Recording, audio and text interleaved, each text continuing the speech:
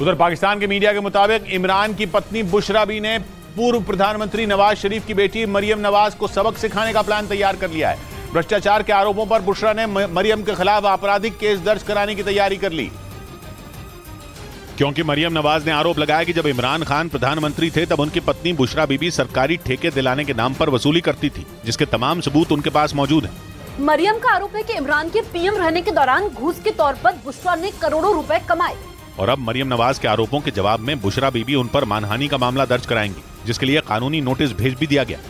यानी जबानी वार पलटवार से शुरू हुई लड़ाई अब कोर्ट कचहरी तक पहुँच चुकी है। इमरान की सरकार गिरने के बाद से ही मरियम नवाज़ लगातार उनकी पत्नी बुशरा बी पर भ्रष्टाचार के आरोप लगा रही हैं।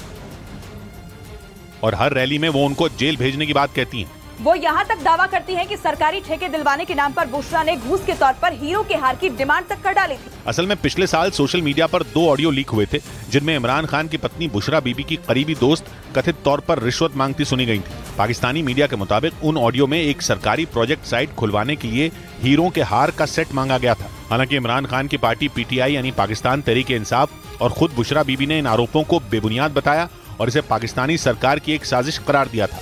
इधर तुर्की ने ऐलान कर दिया कि उसने अपने देश में एक ऐसा ऑयल रिज़र्व खोज लिया है जिससे हर दिन एक लाख बैरल कच्चा तेल निकाला जा सकेगा।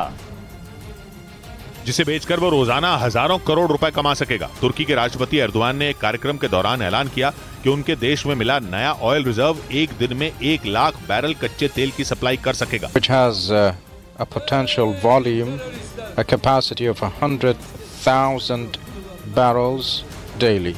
जिसके बाद तुर्की को कच्चे तेल का आयात नहीं करना पड़ेगा बल्कि उसके पास इतना तेल होगा कि वो उसे कई देशों को बेच भी सकेगा। और एर्दोआन के खुद के देश में जो ऊर्जा संकट सिर उठा रहा था उससे भी निपटना आसान हो जाएगा। एर्दोआन तो इसे तुर्की के लिए वो चाबी बता रहे हैं जो आने वाले वक्त में उसकी किस्मत के दरवाजे खोल देगी। और उसे इतना अमीर बना सकती है जितना किसी ने सोचा तक नहीं होगा। एर्दोआन के मुताबिक अकेले इस ऑयल रिज़र्व की मदद से तुर्की के 10 प्रतिशत ऊर्जा संकट को हल किया जा सकेगा। इसके अलावा रूस की मदद से उसने जो नया परमाणु संयंत्र अपने यहाँ लगाया है, वो भी उसकी इस मुश्किल को काफ़ी कम कर देगा। मतलब जो तुर्की अब तक तेल आयात करने के लिए मजबूर था, वो अब दूसरे देशों को तेल बेचने के काबिल हो जाएगा।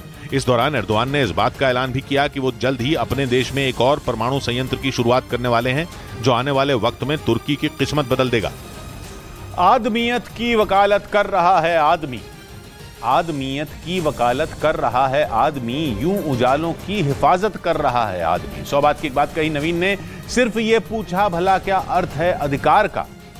वो समझ बैठे बगावत कर रहा है आदमी। मिलते हैं कल, घड़ी जब इशारा करेगी नौ बजे रात का, वक्त फिर होगा। सौ बात की एक बात